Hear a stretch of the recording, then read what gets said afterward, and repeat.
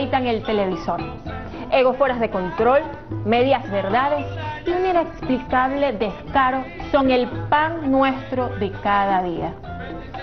Es casi imposible protegerse de esta avalancha de mensajes. Viven camuflados, así en, una suerte de fachada de entretenimiento. Pero la verdad es que el mundo está patas arriba, es un mundo al revés. Y por eso la programación de las empresas privadas de comunicación sostienen estas mentiras. No es nuestra intención atormentarlos a ustedes con esta selección, pero aunque sea un trabajo pesado y peligroso, es necesario. A menudo eh, uno piensa en esa frase que nos dijeron muchas veces, una estafa que tenemos la televisión que nos merecemos. ¿Cuántas veces escuchamos esto? Usted se lo ha preguntado. Incluso hay gente que llega a pensar que esto era verdad, pero nada más lejos de la realidad. Pero para que no piensen que nosotros nos quedamos ahí tranquilitos, sacándonos la pelusa del ombligo, pues aquí está la naranja mediática y nosotros apuntamos, mire, debajo de las piedras. Bueno, nosotros hoy vamos a tener los premios Palangre TV, recordando por qué es mejor no ver ciertas cosas. Un merecido reconocimiento a todos estos personajillos que nos hacen odiar la televisión. Y para este segmento escogimos con pinza los mejores ejemplos de excesos televisados. Y bueno, la pinza quedó pero tan sucia que hemos tenido que descartarla para siempre. Eh, el manual carroñero, extractos de lo peor de la mediática privada.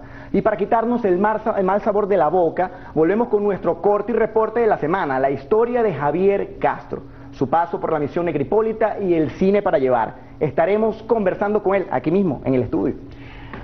Póngase tranquilo, tómese un antiácido, si usted es creyente puede rezar, porque va a haber algo terrible. Los oxidados de la política van a desfilar en un informe de la semana. Eso es un zoológico de aparatos que van por ahí pasando aceite pero no tienen reparación. Aquí, aquí, en la naranja mediática. Donde la televisión se pone de rodillas.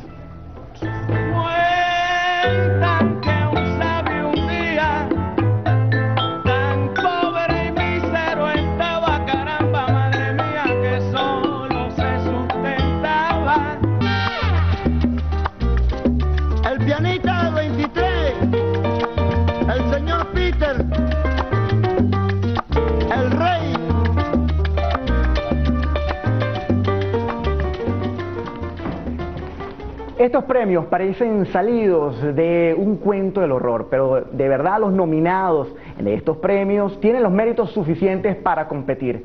Con esa mala intención abusan, usan la pantalla para la mentira y el palangrismo.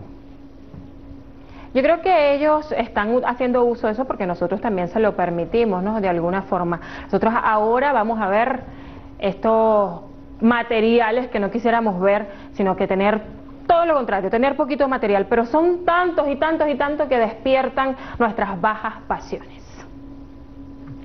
Tanto que despiertan las bajas pasiones que ponen a prueba la tolerancia de la gente. Nosotros, perdone si lo retamos con esto, pero prepárese que ahora lo que le vamos a presentar se llama Palangre TV. Así de simple. La televisión se pone de rodillas en la noche de la mediática inteligente. Palangre TV, el palangrismo de cóctel que nadie ve en los premios castigo de la televisión venezolana. La víctima es un oso de peluche de 30 centímetros aproximadamente. Los vecinos dicen que el televisor sonaba día y noche. Osito de peluche secuestrado por su televisor. Familiares y amigos consternados por la noticia. Depresión, insomnio, fatiga, cansante. Ser algo totalmente normal se convirtió en una manía. Advertimos a los televidentes que TV Palangre no se hace responsable por los contenidos que usted verá a continuación. La verdad se ve en pantalla. Maniáticos e invasivos. Te voy a pedir una cosa. Cuando comience el segundo negro me dejas hablar a mí. Porque yo soy la estrella. Yo soy la estrella. No me operé tres veces este año para que una recién llegada... Estamos de vuelta con los premios Castigo de la televisión venezolana. Palangre TV, porque la televisión tiene la culpa y nosotros lo sabemos. El más descarado. Y el ganador de nuestra categoría, el más descarado, el señor Manuel Rosales.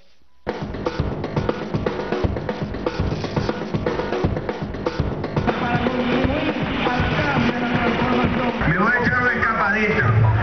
Voy a dar un saltico. Una huidita. ¿Qué siente Manuel Rosales cuando ve una cinta de esta que lo pretende dejar en el fondo como un bobo? Pocas veces las palabras no alcanzan para describir algo tan dantesco. Entonces los venezolanos son unos seres devaluados. Los económicos y sociales, culturales. ¿Cómo decoramos la licuadora de Navidad?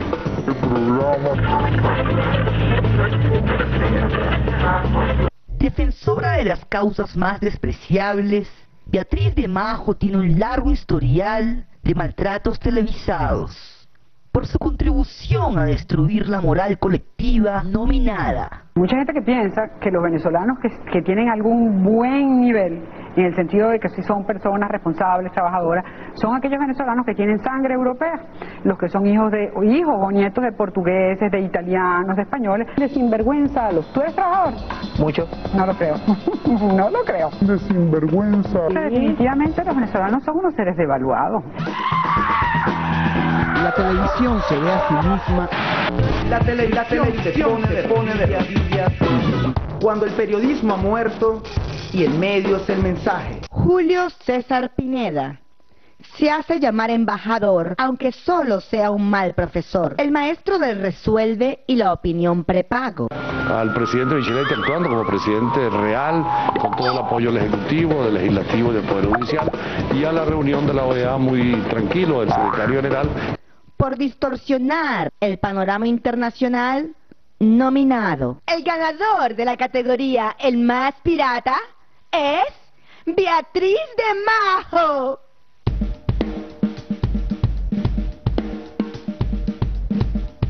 Bueno, no vayan a creer que faltó la nota política. El que viene de una raíz totalmente venezolana está fregado de por vida, porque esa persona va a ser un flojo hasta que se muera. La más macha de este programa, nosotros los venezolanos, como si estuviéramos en otro planeta, nos dedicamos a pervertir las buenas relaciones. No son trabajadores, además son unos grandes irresponsables, pero también maltratan a su familia. La televisión se pone de rodillas y seguimos intentando leer el teleprompter y comer chicle al mismo tiempo. Guerrilla mediática contra Palangre TV. inmediatamente, no, no, no pausé. De verdad, dicho que aquí había un problema de egos en esta, en esta competencia, ¿no? En esta nominación y esta selección. Pero lo cierto es que Beatriz de Mao tenía toda la de perder. Bueno, en este caso, toda la de ganar. Bueno, yo te digo una cosa, Beatriz de Majo es la devaluada. Yo no sé cómo hay gente que la ve. Yo cuando pongo la televisión y hago un zapping por la televisión nacional, porque no, no tengo cable y no quiero tenerlo, veo, cuando veo a esta señora, yo me voy corriendo, si no me voy corriendo porque no, porque tengo flojera, lo que hago es que cambio de canal, si no, pana, apago la televisión. Esa vieja sí es una vieja devaluada. Que tener como estómago, ¿no? Pero es, es, terrible, porque yo no sé ese tipo por qué lo siguen llamando el embajador en ese canal. ¿Hasta cuándo? Esa gente tiene como un, eso podría calificarse como un trastorno bipolar televisivo. Síndrome de ahí psicosomático en ese caso, desde chiquito, porque a uno le inyectan el televisor desde chiquito, ¿no? Sí, en ese caso de, del embajador. Y quedan marcados así como con un sello para toda la vida.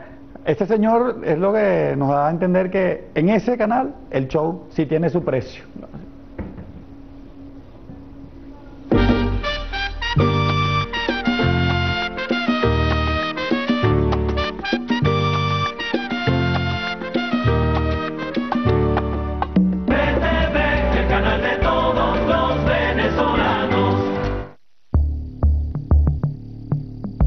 Una noche a la semana los mejores grupos, los artistas y sus sonidos tienen un teatro y tienen un programa.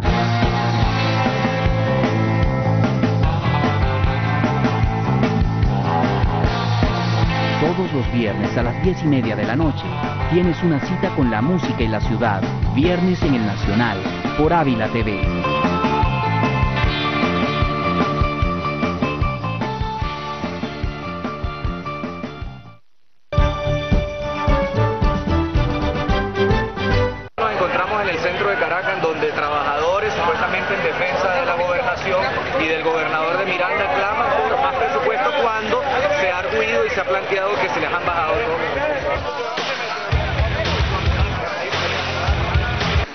Y el planteamiento que está haciendo la gente que está protestando en Guarenas en este momento en donde el gobernador no funge como gobernador sino que se, se la pasa por todo el país asumiéndose como candidato presidencial. Escuchen, escuchen, tienen que entender, escuchen, escuchen, vamos a poner punto claro, vamos a poner punto, ya vamos a poner, vamos a poner punto claro, vamos a poner punto, ya vamos a personal administrativo,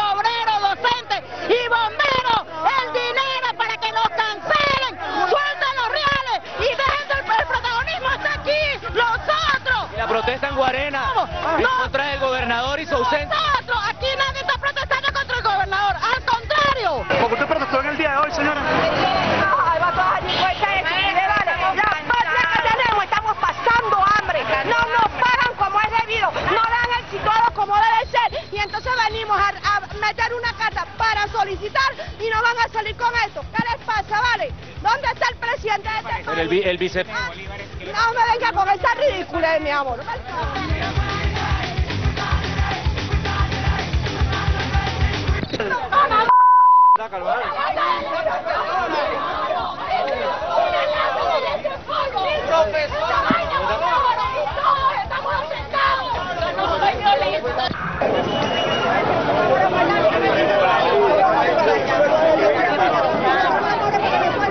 Nosotros somos los maestros que estamos arriba nuestros derechos. Ustedes son puros becados, trabajen y échenle como nosotros. Patas en el suelo, claro que son unos patas en el suelo. Eso lo dice tu presidente.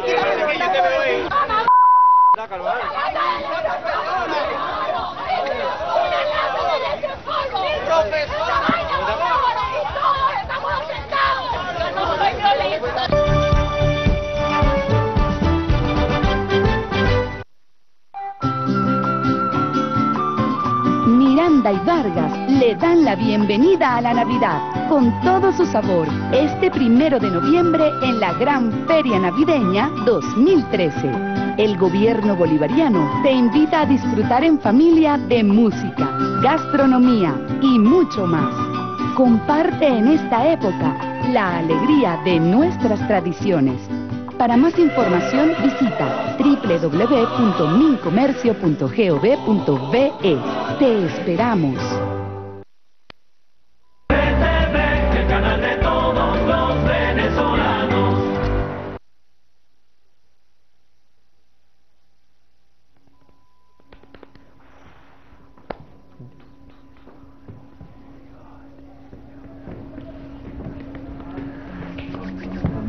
¡Feliz cumpleaños, Diego! Acaso. 53 cumple Maradona hoy. Miren, estamos de vuelta. Les quiero contar algo importante. Déjenme que me acomode por aquí. Diego. Miren, dicen, dicen por ahí que algunos son un libro abierto, que no ocultan nada, que son transparentes como el agua. Bueno, este no es el caso que les vamos a contar hoy. Bueno, ni cerca, Ernesto. Si figuras aquí es porque estás empantanado. Estás claro que no tienes nada. Yo diría que es un manual para tramposos, ¿no? Como aves de rapiña siempre están celebrando las peores situaciones. El manual carroñero, una sección para estómago fuerte. Uy.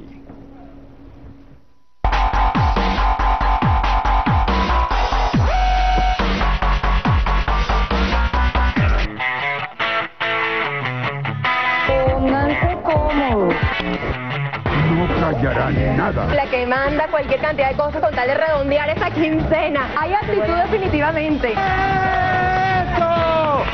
¡Nicuela! Para usted, aplauso de pie, véngase. Eso, felicidad. No le hicieron tan mal. Yo pensé que lo iban a hacer peor. Yo pensé que lo iban a hacer peor. Porque en realidad te la pusimos difícil. Vamos a ponerle orden a este bochinche. Este programa está full, parece como maleta de venezolanos llegando de Miami. Parece como maleta de venezolanos llegando de Miami, chicos. Tú vas a barrer el piso por donde yo caminé. Y eso, escribe. Tú vas a barrer el piso por donde yo caminé. Porque el problema es que vivimos rodeados de gente. Una es muy buena, otra es muy mala. Mira, todo el mundo tiene un vecino ruidoso, un vecino que el perrito le ladra, un vecino que grita, que se le pasa la rosca a la cabeza y termina pidiendo y mendigando y prostituyéndose alrededor del metro. Y termina pidiendo y mendigando y prostituyéndose alrededor del metro. Ramón Muchacho, 21 años. Nunca he tenido caries y uso colgate. Sin ninguna duda. Eh, te estaba diciendo algo antes de, antes de meternos aquí sobre eh, parques, plazas, para montarse en el metro, Si pero a se veces... te olvidan las cosas, hay chicos, vas a carros- tener problemas para cumplir los gente Oye, ¿cómo haces tú a tu edad para acordarte que ya yo me está fallando? Ramón Muchacho, 21 años. Nunca he tenido caries y uso colgate.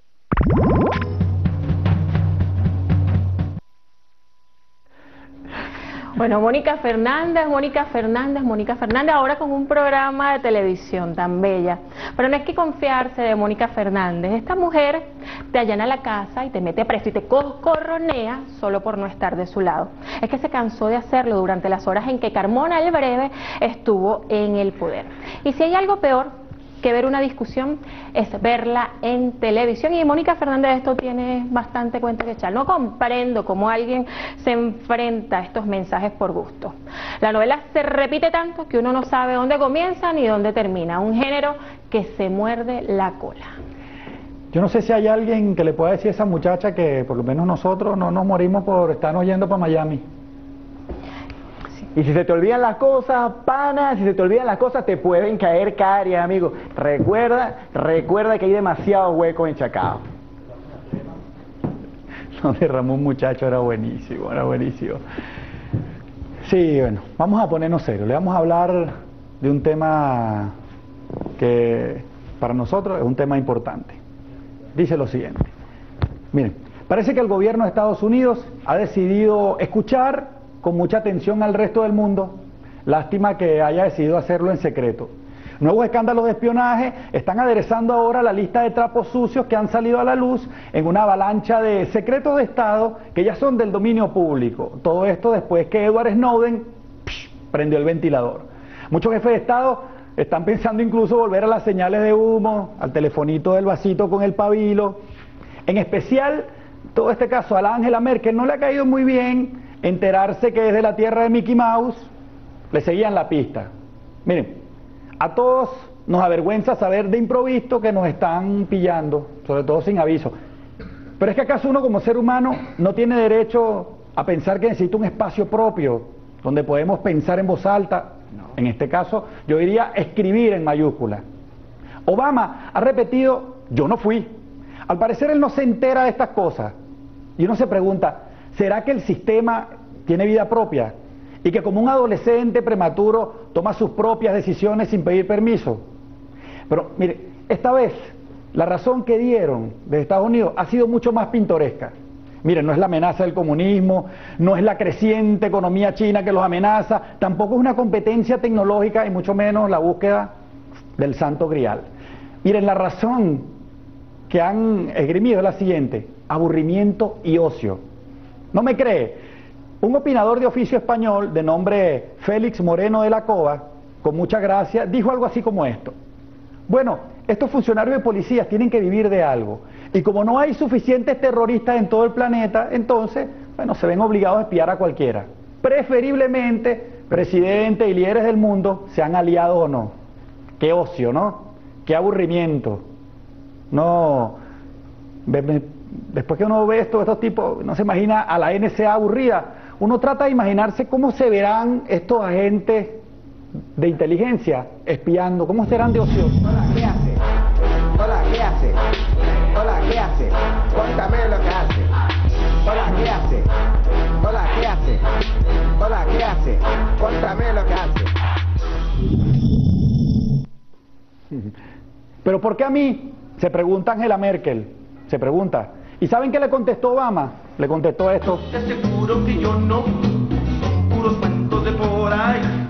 Me tienes que creer. Y bueno, el coro de funcionarios de Estados Unidos está de acuerdo y sostienen que el presidente de Estados Unidos no se ocupa de estas cosas. Obama debería estar más ocupado en otras prioridades, eso de espiar, pinchar teléfono, parece que no es cosa de la que se ocupe Obama, se ocuparían cargos inferiores. Mire, aquello que se llamó el Watergate está quedando así chiquitico en comparación con estas escuchas.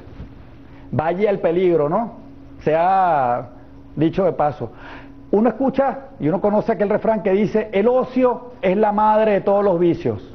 Entre esos vicios, el de.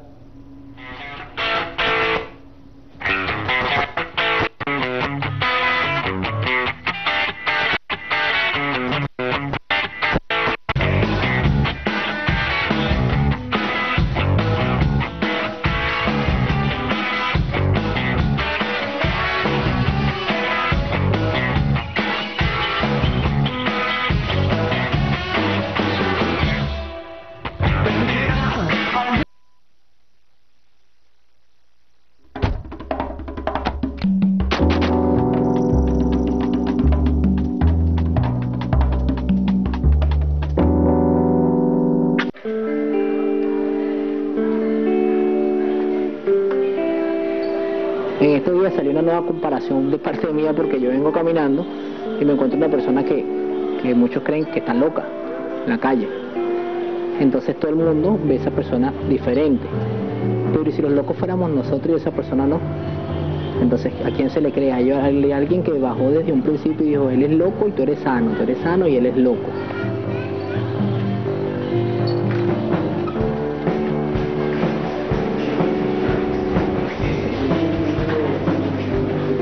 Harán sentir en el centro de la diversidad cultural en Los Rosales a las 3 de la tarde cuando la agrupación Magia Caribeña, el ciclo de conciertos desde las Rivas, presentará a las 5 de la tarde la agrupación guatireña 1, 2, 3 y fuera. Cita es a partir de las 3 de la tarde.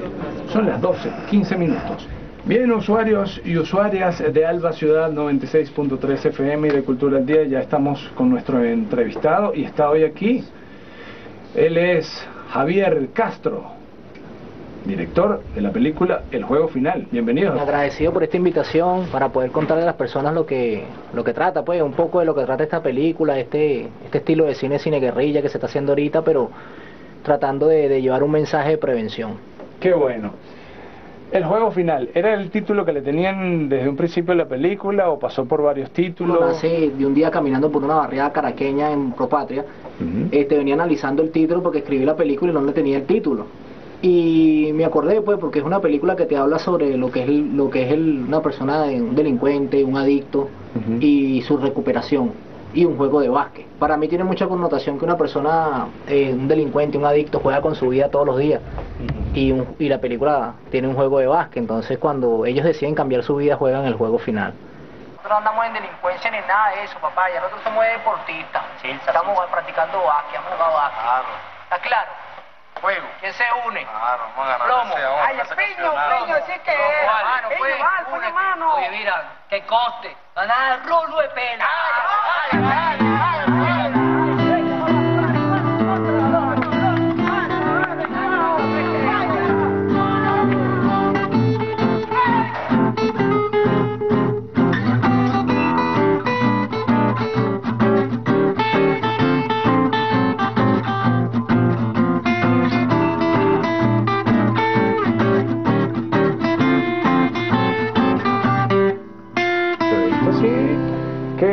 una sorpresa que a través de la, de la, de la misma película se, se invite y se visibilice el trabajo de una misión. La, la, la anécdota más particular es que nace dentro de un centro de rehabilitación, la película. Ah, ok. La película fue escrita dentro de un centro de rehabilitación de la misión Negripólita cuando yo estaba en tratamiento de la misión Negripólita. Yo soy rehabilitado y gracias a Dios un logro de la revolución.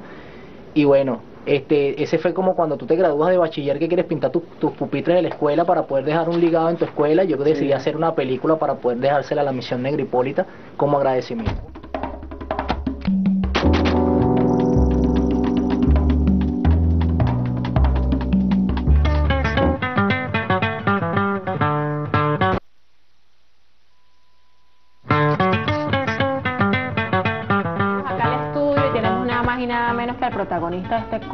Y reporte, Javier Castro. ¿Cómo estás, Javier? Bueno, agradecido por estar aquí, invitado a este gran programa. Mira, Javier es cineasta por voluntad propia, además lo estudió, pero porque se puso las pilas de la- desde la misión Negra Hipólita, porque además es rehabilitado de la misión Negra Hipólita, y ha hecho nada más y nada menos que dos películas. ¿Cuánta gente que estudia cine no ha hecho ni siquiera un, una, una publicidad cortita? ¿Cómo llega Javier de la misión Negra Hipólita a ser cineasta? Bueno, Cineasta mira, este, eh, son tres, ¿oíste? Y bueno... ¿Son eh, tres sí, películas? son tres, son ah, bueno, tres. es que no estoy contando Sí. la última, que esa, esa Sí. allá vamos. Ese- esa es la... Bueno, mira, este, yo antes de, de entrar- de- de caer en el mundo donde estuve por un gran tiempo, eh, estudi- estudié teatro. Y bueno, estando en la misión Negra Hipólita tuve un contacto con, con el cine a través de un taller de cine eh, del Senat, Que el laboratorio del cine imparte unos talleres que se llama Cine en Curso. Y fue una semana, me costó mucho salir del centro de rehabilitación, conseguir el permiso porque yo era un ciudadano en atención, entonces no, pues, no, no había la confianza de que pensaban que yo podía recaer y todo esto, hasta que logré ganarme la confianza del director del centro y me dijo, bueno, anda y haz tu taller. Y mira, eso fue un impacto entre el, entre el tratamiento y lo que fue el taller de cine, marcaron mi vida y, y me pasaron el chip, como digo yo siempre, y ahí me enamoré del cine y quise contar historias que tuvieran una realidad, pero que también tuvieran un ejemplo y un sentido de lucha como lo narra el juego final, como lo, lo narra la primera película que se llama Otra Oportunidad. Mira, nosotros estamos ya casi que empezamos por el final. Yo quiero que nos cuentes cómo es que tú llegas a la misión negra Hipólita y cómo, cómo cambia tu vida, porque tengo entendido que estabas en otros centros de rehabilitación anteriormente, ¿no? Sí, sí, bueno, mira, yo estuve, tuve el contacto con cuatro centros de rehabilitación aparte, pero no, no ¿Y ¿Cuál es la diferencia con el negra Hipólita? Mira, bueno, el Negripólita tiene este, un tratamiento súper buenísimo, tiene tratamiento psicológico, este, trabajo social, este, hay un tratamiento humano, los trabajadores son ángeles, como yo siempre, eh, me- cuando me hablo de ellos, digo que son unos ángeles que Dios puso ahí porque la gente y estos panas se la calan, pues se aguantan que todos los días trabajar con, con tipos de personas como yo, que somos adictos, que tenemos un carácter muy fuerte, que a veces los insultamos y estos panas están ahí para ayudar, para dar su amor, como lo dice la- el eslogan de tu amor es mi- tu mejor refugio, como lo dice el eslogan de la misión ¿Y negra. cómo fue, Javier, que, que tú llegaste hasta la negra Hipólita? Bueno, mira, la negra. ¿Llegaste o te llegaron? ¿Cómo fue el, el movimiento? Bueno, ahí? este, yo llegué. Este, yo estaba por Valencia, por el estado Carabobo, y estaba perdido pues en las calles hasta que un día, bueno, decidí ir, venirme a Caracas y no precisamente a Negripólita, sino regresar donde mi familia de nuevo, que bastante daño le había hecho a mi, a mi madre, a mis hermanos y todo esto, porque no, no, no podía, pues todo el tiempo recaía, no, no tenía una constancia en los tratamientos y de verdad e- ese día llegué con la intención de que me abrieran la puerta y, hoy doy gracias a Dios que no me la abrieron porque no estuviera aquí hablando contigo, estuviera en otra situación porque esa es la cuestión del adicto, la manipulación. Y en ese momento yo lo que quería era llegar a manipular para llegar otra vez y volver y seguir en lo mismo. Y aquí también no solamente te tratan a ti, también es un problema familiar, tengo entendido, ¿no? O Sí, sea, la familia también interviene de manera directa en la rehabilitación de Bueno, la de familia la se vuelve este, codependiente. En las familias también tienen el mismo problema del adicto en una codependencia y la misión negripólita le da un servicio. Hay terapias familiares, hay terapias grupales, terapias con, con tu madre, con tu padre, con, con tu esposa, con la persona que te ¿Cómo le retribuyes tú todo esto a la negra Hipólita? bueno, mira, este, yo de la Negripólita, donde me paro, hablo de la misión Negripólita. Yo hace mucho este, tuve la oportunidad de, hacer una gira nacional con, el presidente del Senado y esa institución que me ha brindado la mano de una manera excelente a través de mis películas. Y, y nos, y estuvimos como en 23 estados y en los 23 estados, antes de yo hablar de cine, hablar de cine guerrilla, hablar de la red popular de cine, hablaba de la misión Negripólita y echaba mi historia de vida y le decía a la gente que sí se puede porque hay una misión que nos está ayudando. Mira, antes de hablar del cine guerrilla y de lo que estás haciendo y de las pelis, nosotros vamos a, a ver un video. ¿Tenemos el video listo? Vamos a ver el video que tenemos preparado, producción.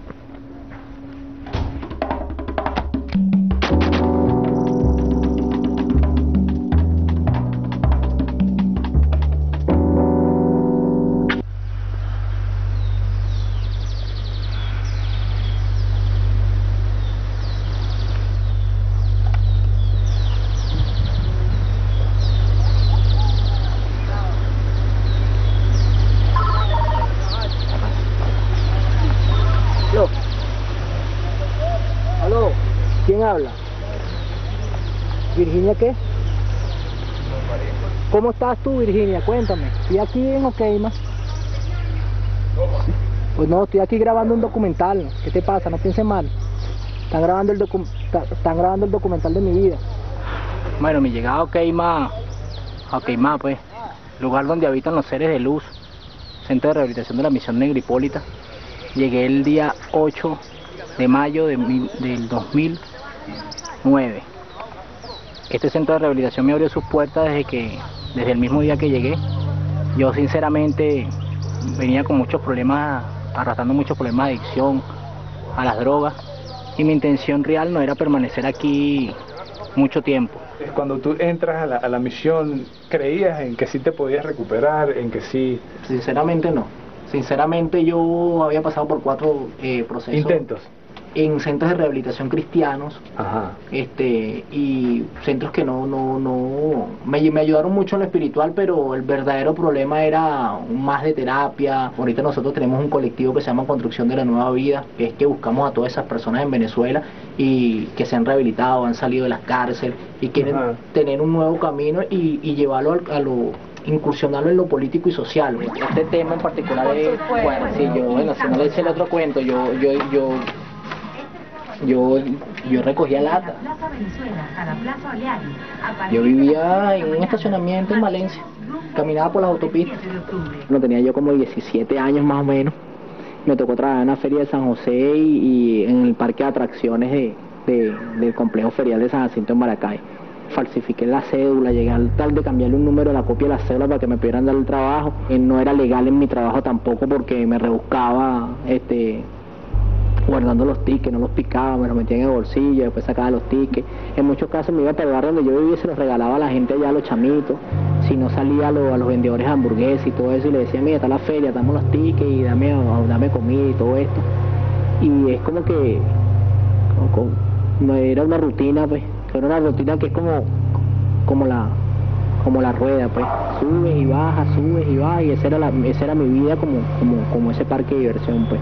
Eh, un momento de alegría, que es el momento que te da la droga, pero en un abrir y cerrar de ojos ya esa sensación se pasa y lo que queda es un parque vacío, que es la vida que, que, que, que tiene el drogadicto, el muchas cosas con las que te puedes divertir, pero no puedes accesar porque ya está todo apagado. Si no tienes el ticket, que es la droga, no, no te puedes montar ninguno de los aparatos.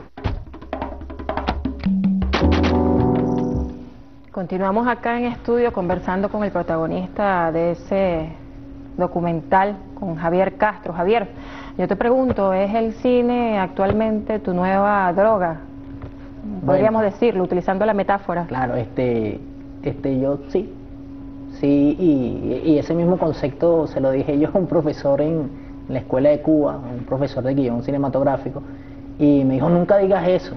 ¿Por qué? Pero no, nunca me dio la explicación, y yo le dije, no, es que, es así, porque no, no es que me dan bajones cuando no tengo el cine, pero todo el tiempo doy gracias a Dios que el cine hoy día me mantiene tan ocupado que no me da oportunidad de pensar en otra cosa más que, que en escribir, en, en planear qué es lo que voy a hacer el día de mañana, o a quién le voy a hablar de cine, o a quién le voy a hablar de Negripólita, o, o con qué pana voy a aconsejar. Y, y es, una, es una tarea que de verdad hoy día es muy agradecido porque no me da tiempo de nada. Mira, ¿qué es eso del cine guerrilla? Explícanos más o menos en qué se diferencia de otras maneras de hacer cine. Bueno, mira, este, el cine guerrilla es cine, es cine, es cine. Aquí en Venezuela dicen que hay cine pobre, cine guerrilla, cine bajo presupuesto, cine comunitario, es, es cine.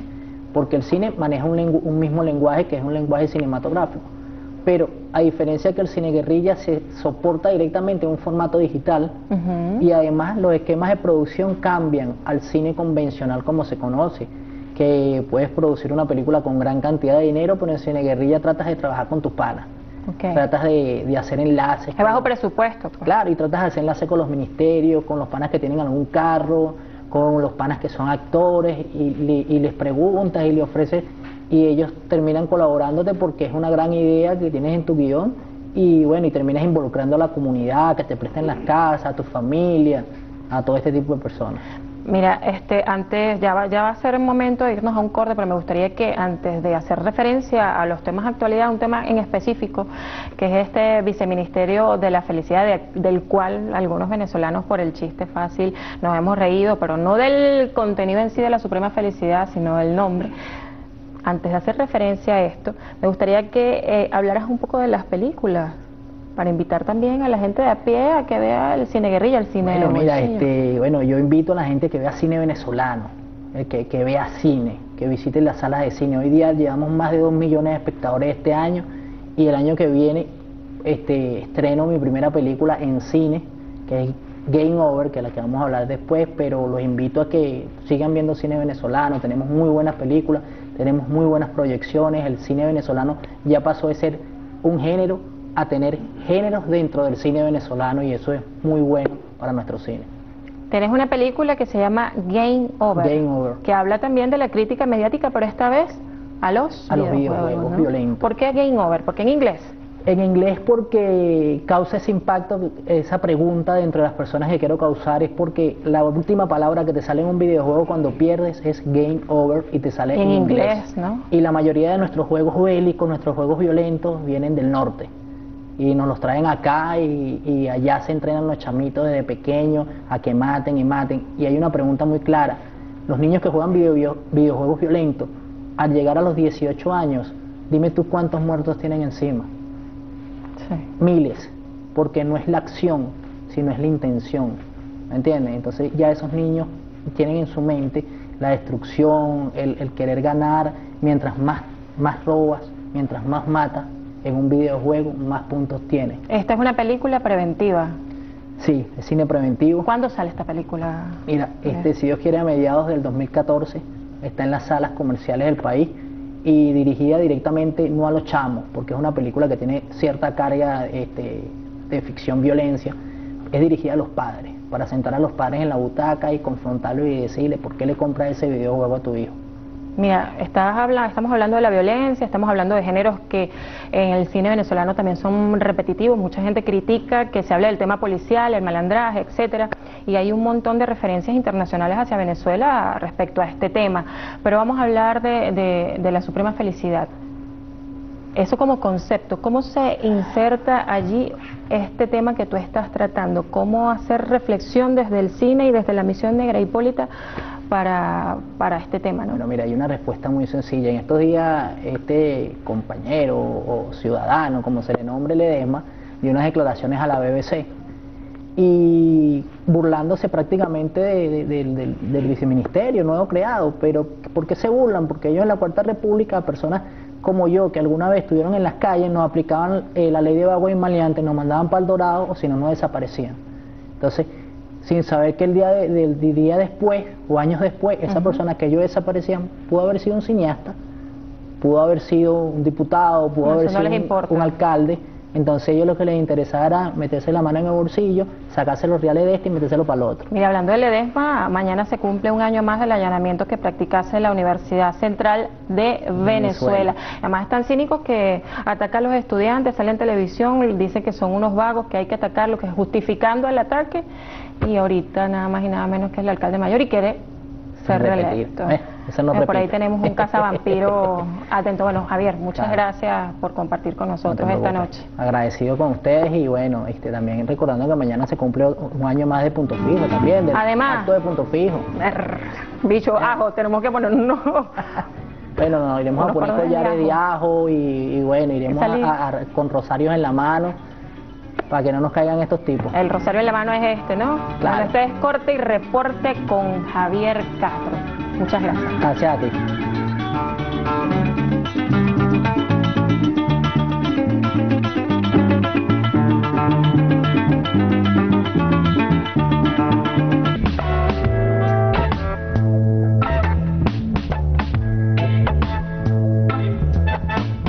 Capítulos de la historia política de nuestro país que permanecen abiertos gracias a un museo de piezas oxidadas. A mí la verdad que no me gusta oírlos hablar, verlos hablar por largo tiempo, así que debo agradecer a la producción de este programa por dosificar esas apariciones. Un trabajo duro, pesado, pero necesario.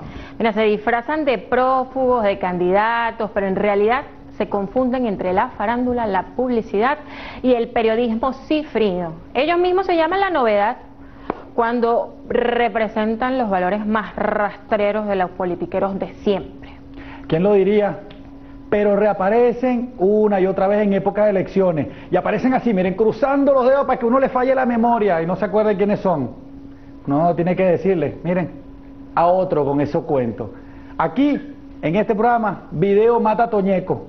Este será un recorrido por algunos modelos descontinuados de la política y tengan por cierto que no tienen repuesto que valga.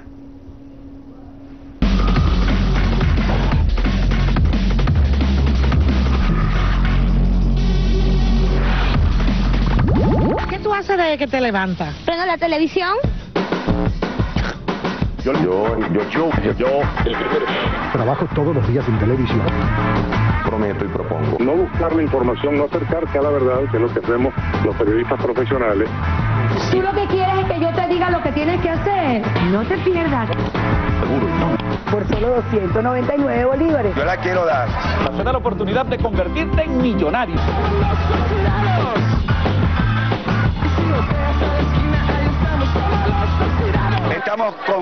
Y seguros. Recobré mi salud, mi confianza y mi autoestima. Eh, invoco la racionalidad, el buen juicio. ¿Quién es mi bebé sabroso? Nosotros como que subestimamos el poder popular. Y, y no son inventos. ¿Por qué me persiguen? No tengo nada que ocultar. Muy bueno porque lo van preparando uno para, para poder ver las, las contradicciones. No tuve inspiración marxista. La causa R, en la causa R nos definimos desde su inicio como demócratas radicales. Eres un pobre chulo. Lo que importa siempre es mirar al futuro No, no saben. y no al pasado. Ustedes no me han escuchado a mí insultar a nadie. ¡Y tienes culillo!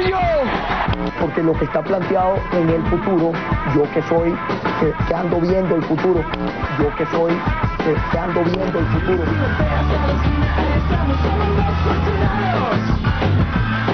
El que mira al pasado.